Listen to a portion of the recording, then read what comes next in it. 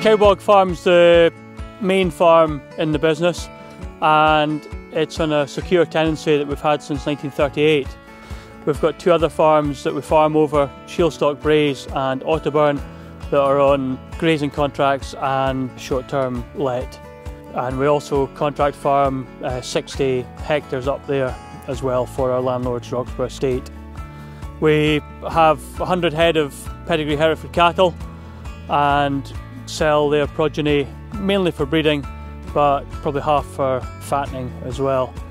We've had the pedigree herd of Hereford cattle since 1955 when my grandfather started them. We've also got 200 acres of arable ground which is predominantly spring barley, winter barley and quite a lot of land now in conservation scheme as well. We've been involved in conservation schemes for 20 plus years now and work them into how we manage the farm. We've fenced off a lot of water courses which not only helps the environment from diffuse pollution point of view, slowing up the speed of the rivers, but also helps us in terms of a lot of double fences so we can put management groups beside each other and it also reduces a, a fluke risk as well we've found. On the arable side we've fenced off a lot of sort of corners of fields that are sort of awkward from a management point of view and a lot of the sort of poorer land has gone into wild bird covers which are left all year round and we, we feel rewarded from doing this um, because you know we see the benefit over the winter and um, some nesting areas as well. Because of the size of the farm we've got a few small fields so we've made management a little bit easier by putting some large grass margins around the fields and these mean larger modern machinery doesn't have to turn in tight corners but we've also made them big enough that we can utilise them either through grazing or hopefully in, the future maybe a bit of rough hay or silage from them. We applied to be monitor farmers.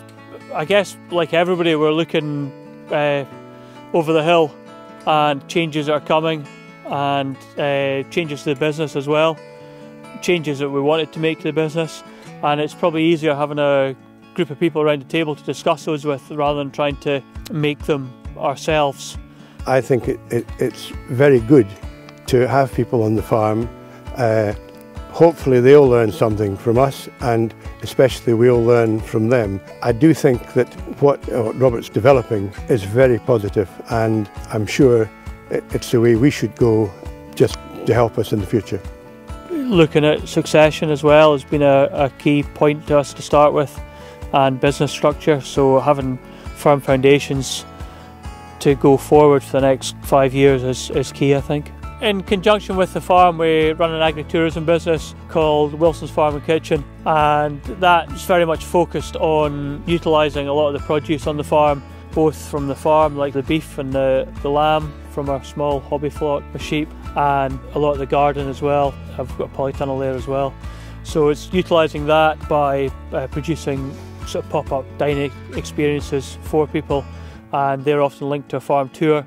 So there's a bit of an educational or learning piece there for people who want to know more about their food choices.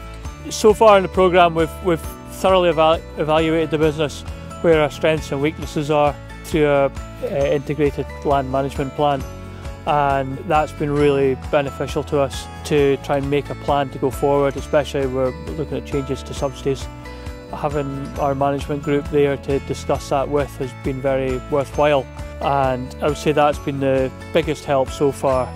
Certainly this dry summer having a thorough look at our grazing as well has seen us utilise grass better. We've been struggling last year and the year before and I felt feel we're in a better place this year with the, the cattle still having grass in front of them that maybe didn't have previous years.